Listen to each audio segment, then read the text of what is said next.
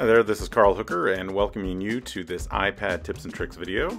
Uh, I do want to point out that uh, most of these tips and tricks you can find in the Apple Support User Guide just by searching for iOS uh, tips and tools. So feel free to look that up. I'll put a link in the notes. Um, but first, without further ado, let's get started with our first tip.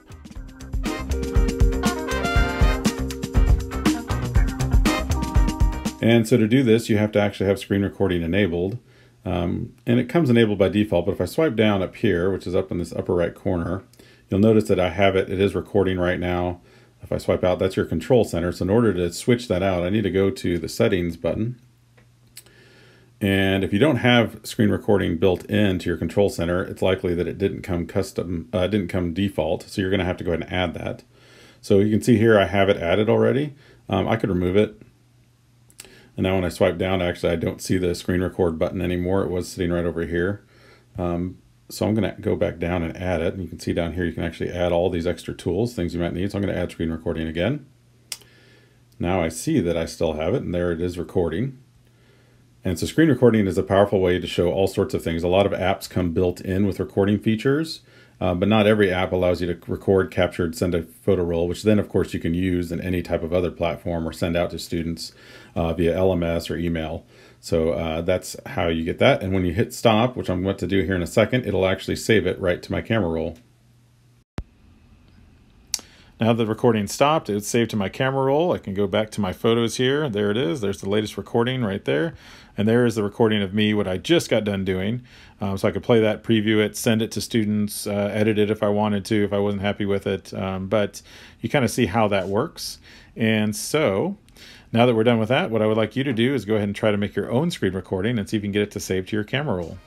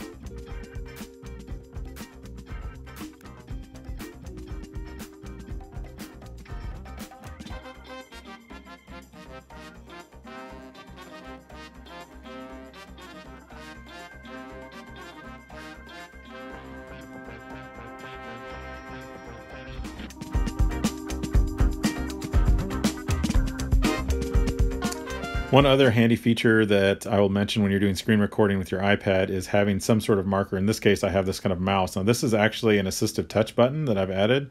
Um, in order to do that, you're going to want to go into Settings, go to General. It's actually an accessibility feature. And you may notice um, right down here is something called Assistive Touch. And so if I click on that, turn it off, you'll notice my Assistive Touch button goes away. And if I click it on, it's back. If I hold down on this, um, a lot of different things pop out. Uh, you'll see there's some other things I can add. My control center, again, this is for people that uh, maybe need some help with their, whether it be dexterity issues, things with the home button, little extra things. You can actually add all sorts of little menu items to this. I'm going to tap off of it and it disappears again. But in this case, I like using it because, again, it acts as a mouse. So you can actually see where my finger is moving while I'm talking. Again, having this built in with the screen recording is a powerful way to do any type of recorded instructions for students using their iPad iPads if you want to demonstrate something, have them focus on a website, um, things like that. I think that's a powerful tool to use as well.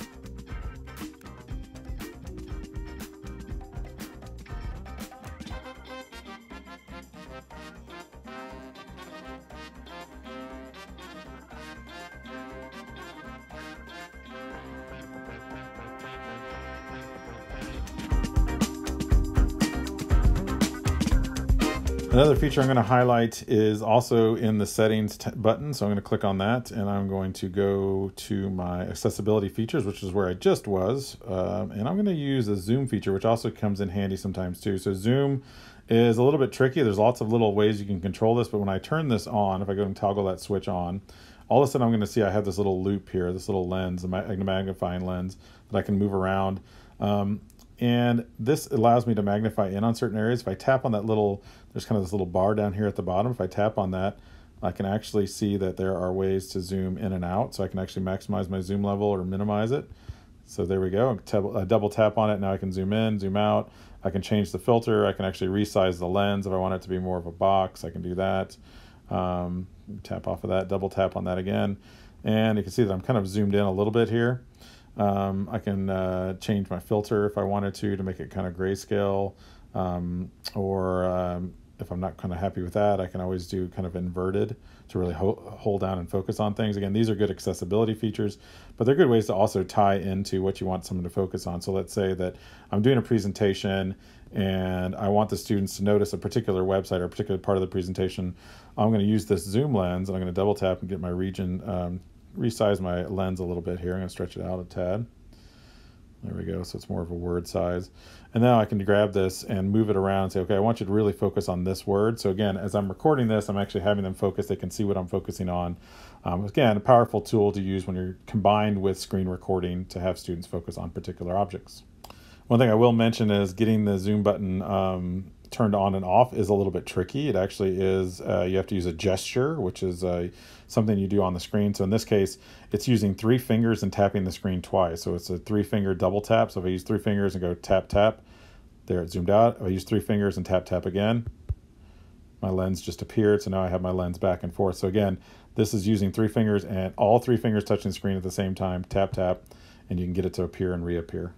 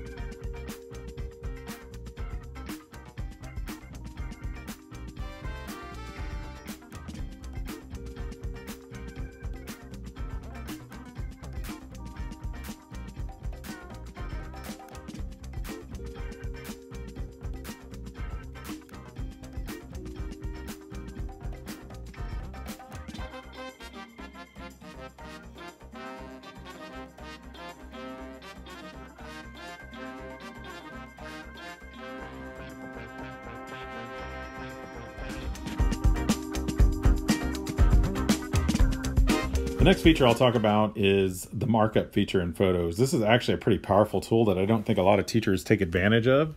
Um, we do have lots of different apps and software that can do a lot of this as well, but this comes built into your iPad. So if you combine it with screen recording, which is what we're doing now, you can actually kind of make your own series of videos uh, depending on what you want to get across. So in this case, let's say, let me go to my photos here, and I see I have this object, and I want to actually mark up this object. Actually, a worksheet that I took a picture of.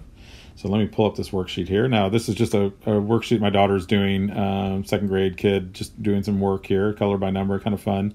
But maybe you want to explain this to to uh, your students. And so I'm going to do is I'm going to hit edit. And again, I'm screen recording all of this. And I'll notice over here, I've got a little kind of a suite of tools. So I'm going to hit the little dot, dot, dot and hit markup. And now I'm able to pull this up so now what I can do is actually start editing some of these. If I wanted to explain um, some of the answers, I could do that. Okay, so I know that's going to be black, so students, make sure. And also these tools are a little bit different. So if I wanted to, I could take like this, make it kind of a fatter line. Um, I could click on this pen, double tap on it, make it a little more opaque, make it yellow if I wanted to, to kind of point out certain things. Um, click on yellow there. Then I go to 35 like that and kind of work through the problems uh, and then, of course, I can uh, go through and actually color in, you know, anything that's 35, kind of explain it. Whoa, that's pretty big. But you get the idea here. This is, again, a very powerful tool called Markup, and it does allow you to record all this, which is great. And if you want to save it just as a single sheet, you can hit cancel here at this point and not add the markup points. or keep it. In this case, I'll just keep it um, and send it as an example. But again, a powerful tool called Markup. It's built into all your photos. You, those of you that have iPhones probably already know this. There's some editing capability with that. Um, I used an Apple Pencil to do some of this, but you don't have to do that. You can just use your finger or a stylus. Um, it doesn't necessarily have to be worksheets either. I mean, it could be any type of object that you want to have kids take a picture of, measure it, have them kind of kind of uh, label certain things. A great tool for all of that to have your students label items as well.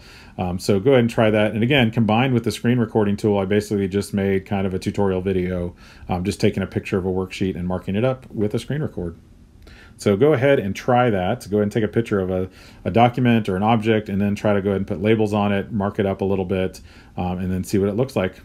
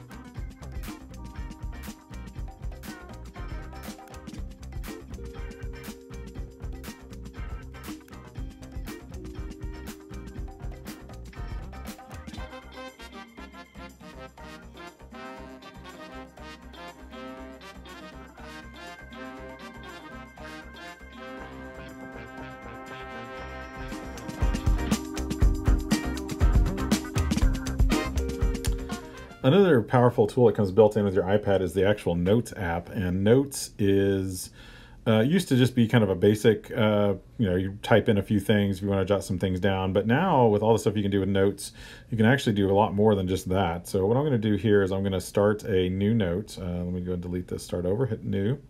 And what I did is I just clicked on that little button right there in the upper right corner. I can see I can add some text here if I want to, test uh, here. Um, but there's some new things you can do now that you couldn't do originally in Notes. Like for once, you notice over here there's a little graph. I can actually add some charts if I want to do a table and have that set up. Um, if I tap on um, over here, I can actually tap on this A. Now I have some other features I can do. I can change my fonts. I can uh, underline certain objects, make them bold, um, start doing bulleted numbers, um, however I want to do that. Um, also do some little uh, right or left justification. Um, and then what I'm going to do is actually something a little bit different. I'm going to actually go in and uh, I want to add, let's say I'm making a checklist that I want my students to go through or that I need to go through and say, all right, so I'm going to click on this little check button right here and you notice it puts a little circle there. Um, so this is the first thing I have to do. And then when I hit return, it's going to add a second, another circle and I can just kind of go through and say, okay, here's my checklist for the day. Um, and then what's great about this is it's actually an active list. So when I go through, I can tap on these and check those off and close them out which is handy. My wife and I do this all the time with our grocery list because another thing you can do in notes is, of course, collaborate too. So if I wanted to, I could take this note here and hit that little share square button there, and I could actually share this note with somebody. Now, if you go into your settings and make sure that you have um, under your iCloud that you actually have uh, notes turned on, you can do a lot of different things with notes. Now what I could do is actually, if I see I have iCloud set up over here, I can actually add a note. Um, I'm just going to make a new note here, and maybe I'll call this grocery list. Now this is more for personal use, but you can see how this could actually be a powerful thing too with your students. If you wanted to add notes and have them collaborate on things together, you can actually build this note, note out to actually collaborate with someone else. So in this case, I can hit that little um, person right there, tap on that, and then I can invite someone to look at this list so I can actually send a copy link to somebody. Um, there's some other options here if I wanted to send it on Twitter, maybe drop it into my Google Classroom or my uh, LMS. Um, but then essentially I can add people to the list. And so then whenever I'm adding something to the list and something is added, um, they get a notification, and so do I whenever they add something to the list. So again, a good way to make a kind of a collaborative note. Now, the last couple of features I'll show you real quick. Um, you can now add in things into notes, like you can actually add objects. So if I wanted to go into, if I wanted to scan a document, like that worksheet, or take a photo of something, or I can even add sketches now. So if I wanted to, I could just add a sketch of something.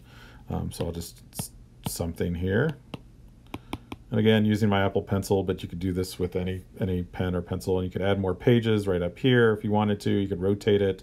um, export it out. I'm just going to hit done. And now my sketch is now dropped in as an image. So now that's a solid, solid image in my notes that students can pull up if they want to. You can actually, um, if you wanted to, you could mark up right inside the note itself. So right here, I could say, um, I could write as well. A little bit trickier, it doesn't become an object. Uh, now it just becomes kind of a text box. You have to be careful with that. But there is ways to add that as well. So again, try some of these features out with notes. You can try get into your notes. Make sure again if you have your iCloud turned on, there's a lot of extra features that pop up, including the collaboration feature. So go ahead and try that out as well. And uh, good luck with that.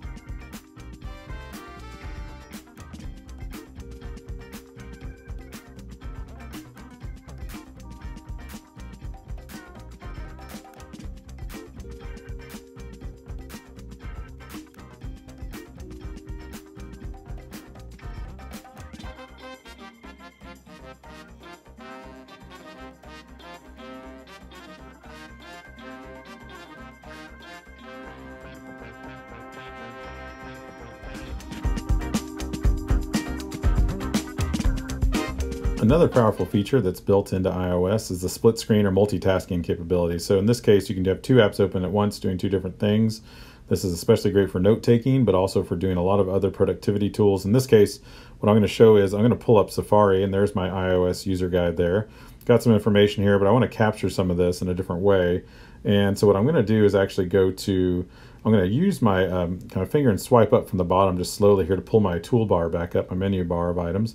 And you'll notice Notes is open there, which is one that I'd used before. So I'm going to click on Notes.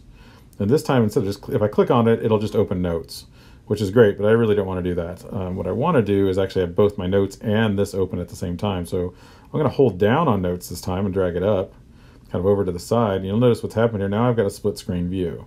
I can grab this little middle bar here if I wanted to and move it from side to side if I want perfectly split screen half and half, move it over a little bit, this is especially powerful if your students are watching maybe you on a video, like a Zoom call, and you want to actually take some notes over on the right. You can be watching the video on one side and then taking notes on the other.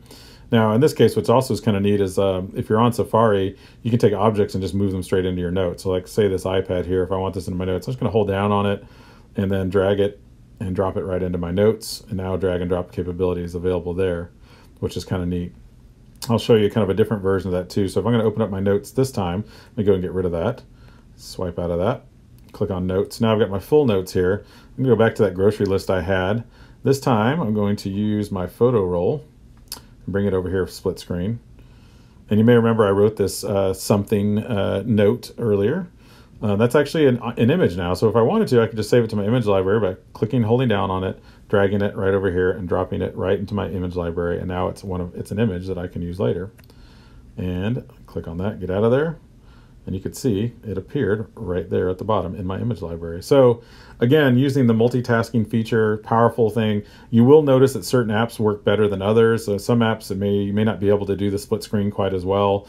All the native iOS apps definitely work. Anything with pages or keynote or numbers or uh, notes, uh, photos, Safari.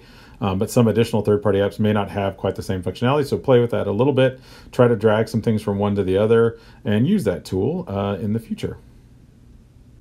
Again, this split screen functionality comes in really handy when students are doing reports or when you're creating presentations. For example, let's say I'm making a, a I'll pull up a blank keynote here. I'm doing a report on um, let's say I'm doing a report on unicorns. Now, what I could do is go in, go into the web. I could search for unicorns, find a unicorn picture that I want.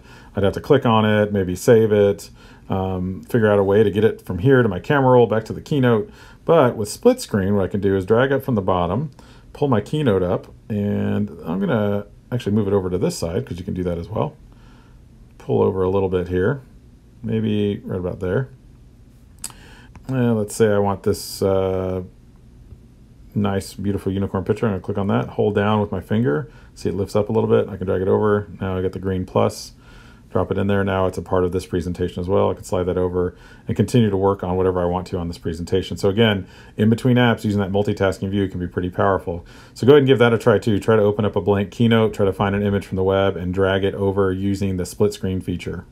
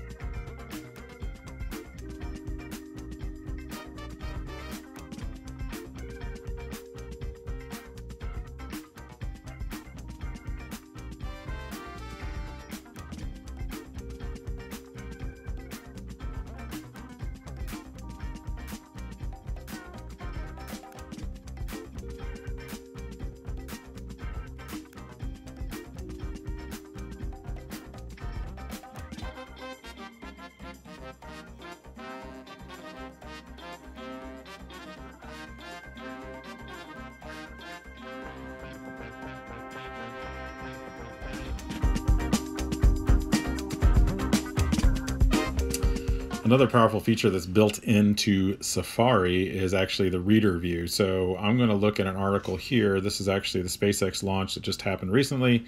And um, I can see there's a lot of a lot of busyness on this page here. There's clicks up above. There's things. There's alerts flying around. There's an ad for blue jeans. Um, there's some some kind of photos and videos. There's best dresses for older women, which is kind of an interesting one.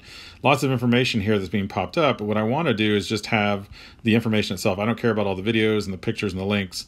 Um, and so the way to clean this up is there's actually a button kind of up here when I scroll it back up to the top of the Safari page. You'll look up over here and you'll notice those little lines right there.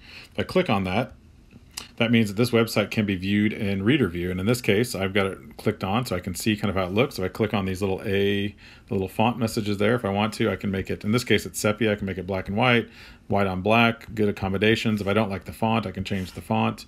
Um, some of these fonts are actually better for students that have disabilities, such as dyslexia, using kind of fonts that actually help weight the letters a little bit. Um, so now let's say I've got it the way I want it. I can even make the letters, make it a little bit bigger if I want to now I've got this great uh, readable website with just the information, you know, all the pertinent information that's in it. There's links and stuff that still work.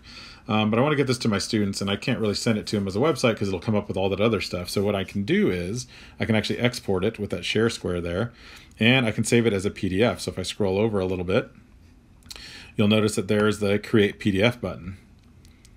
Now, this is a PDF document. It's become gone from a, a dynamics website with lots of ads and click up buttons to a, to an actual document that students can read and, and look through. Notice right up here, there's our markup button. So if I wanted to, I could mark up this document, write some notes on it for students to really think about. Students can also do this on their device if they need to take a kind of some notes on a website or some information.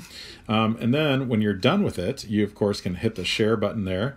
And if you wanted to, you could share it to uh, Seesaw or your LMS, whatever is linked to your iPad. Um, you could save it to your files um, for later use. You could print it if you have the ability to AirPrint, but basically, or even email it. So there's so many different ways you can do with it. You can even see now we use notes. You can actually send this to notes as an actual document as well if you want to just save it in your notes. I'm just going to hit done here and I'm going to just uh, save the file to, um, I'll just save it to my iPad for now. So I'm going to click on on my iPad down at the bottom and hit add. There we go. And you find a spot for it. I'm just going to add it. I'll put it in my um, put it in my pages. There we go. And now that's been saved and I can use that for later viewing. And again, if you click on this little button again, uh, the reader view will turn off. That's actually built into any Safari web browser, whether it be on a MacBook or an iPad. So if you ever see those three little lines there, that means the website can be viewed in reader view. This is the same thing with this one.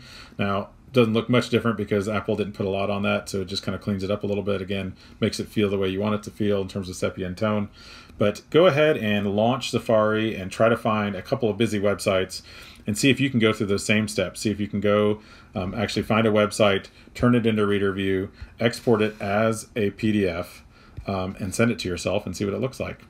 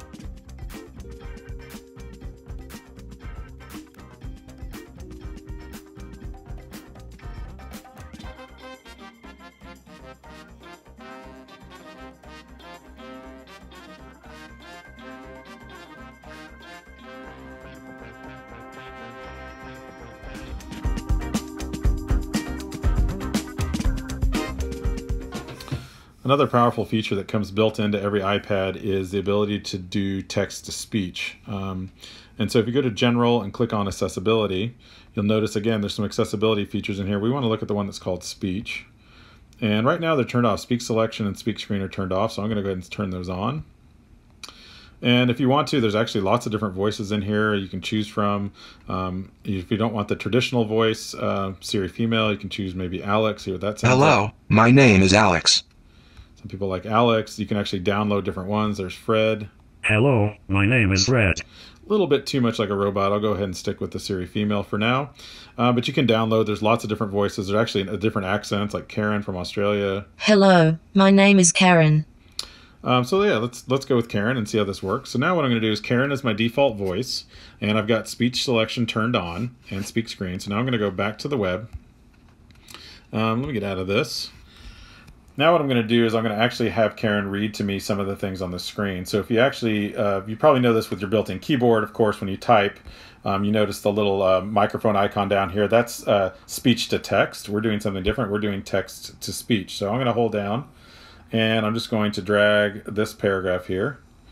And you'll notice there's a button there that says speak that I can now select. So I'm going to click on that. New, home screen. The home screen has been redesigned to take advantage of the large iPad display. The refined layout lets you see more apps, and you can pin your favorite Today View widgets on the home screen. See view and organize Today View.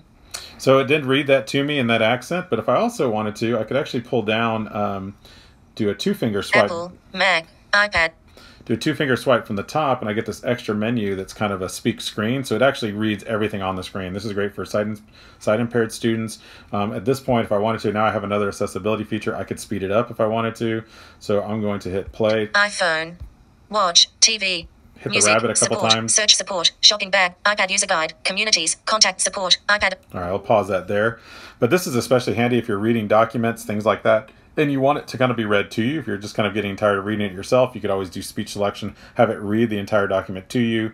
Um, a handy thing for students that are struggling with reading, and it can work on any website. So don't feel like you have to go find some special website tool or app. This is actually built into iOS, so those students that have iPads can have speech, uh, text to speech read back to them.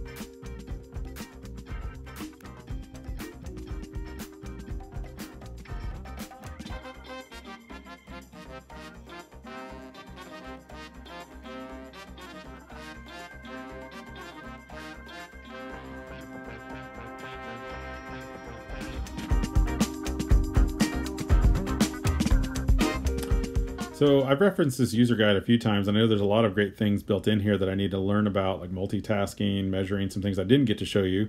Um, and let's say I want to bookmark this, but I want it to be an actual app. This is something that's come built into the iPad for a long time, but uh, some people forget that you can actually um, use that little share button there and add this to your home screen.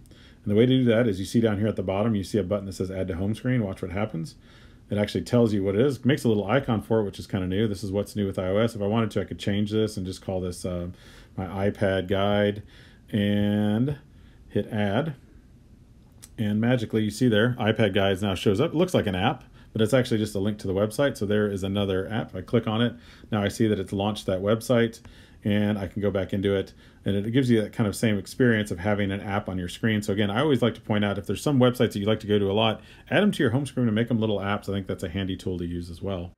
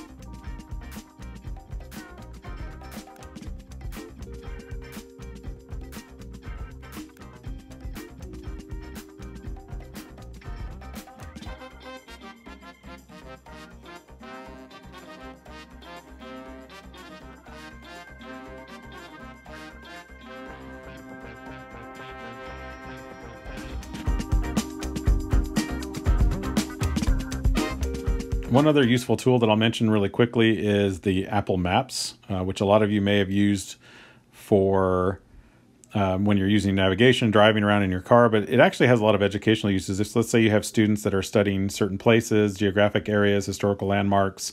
Um, there's a lot of things you can do in Apple Maps that you couldn't do on, like, let's say, just normal maps. Um, and so right now, this is the normal view. This is what you see with Apple Maps um, when you're trying to navigate or drive through the streets. In this case, we're zoomed in on San Antonio, right down the road from me.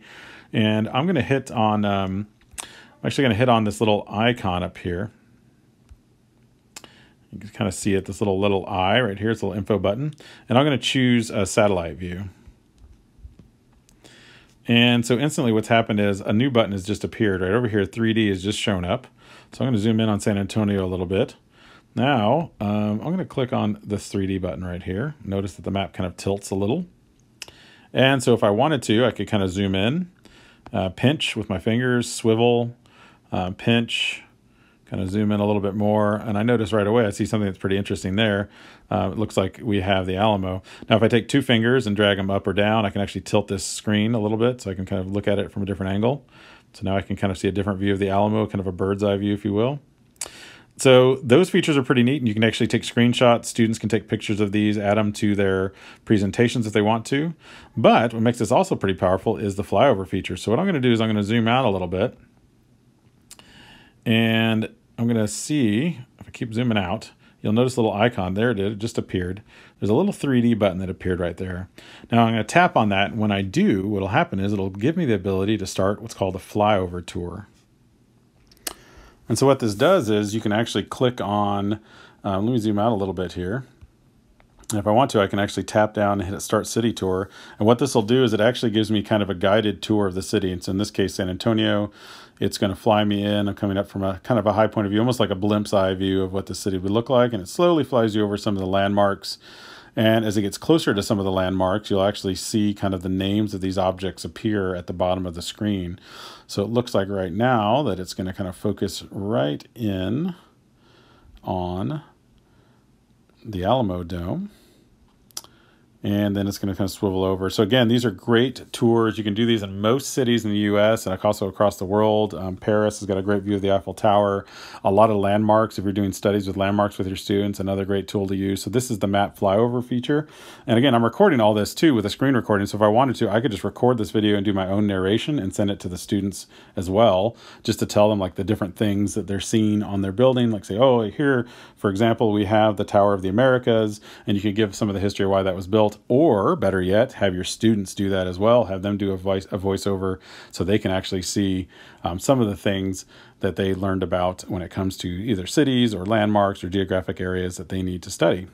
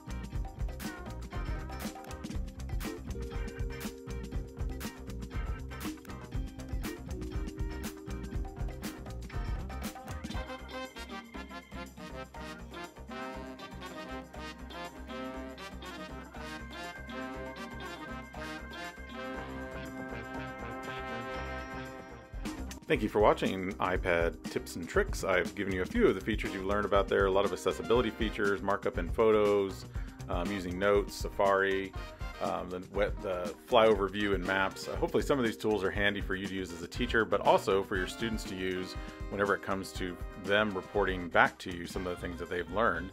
Um, so I encourage you to go ahead and check out uh, Apple's iPad iOS 13 user guide, which I'll link here in the notes.